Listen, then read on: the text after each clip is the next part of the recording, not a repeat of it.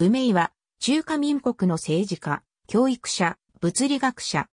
民国期に清華大学校長を務めた人物である。後に台湾において国立清華大学再建や台湾発の原子炉設置に従事した。字は月間。1904年に天津慶業中学堂に入学し、卒業後の1908年に補定高等学堂に入学した。その後アメリカに留学し、1914年にウースター工科大学で工学学士を取得した。帰国後は天津キリスト教青年会や聖火学校で就職し、1921年に再び渡米してシカゴ大学で機械工学修士号を取得している。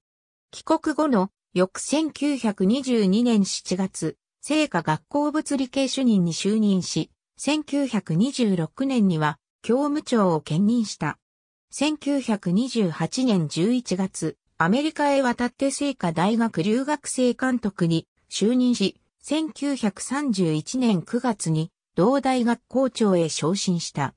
日中戦争が勃発すると、聖火大学などを戦争後配置へ移転させる事業に従事し、西南連合大学公務員会常務委員兼、主席や調査臨時大学常務委員などを歴任した。1939年9月、三民主義青年団中央観察会観察に就任している。翌1940年には MIT から工科博士号を授与された。1945年6月、中国国民党第6期中央執行委員に選出されている。日中戦争終結後は、西南連合大学の解散と、聖火大学の北平市への復帰作業に従事した。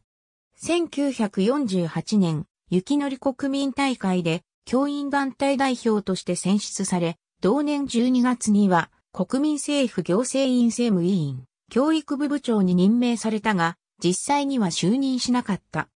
1949年6月、パリで開かれた国際連合教育科学文化機関科学会議に出席し、9月のユネスコ総会では中国代表団主席代表を務めている。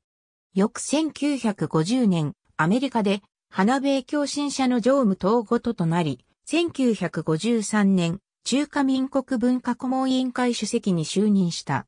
1955年に台湾に移り、大陸のものとは別に、聖火原子エネルギー科学研究所と国立聖火大学を新築市に設立している。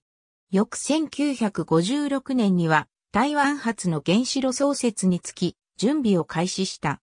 1958年7月、教育部長に再任され、後に国立聖火大学校長や行政院原子エネルギー委員会主任委員なども務めている。翌1959年には国家長期発展科学委員会副主席となった。1962年2月、中央研究委員士に選出されている。同年5月19日、台北市にて病没。去年74。ありがとうございます。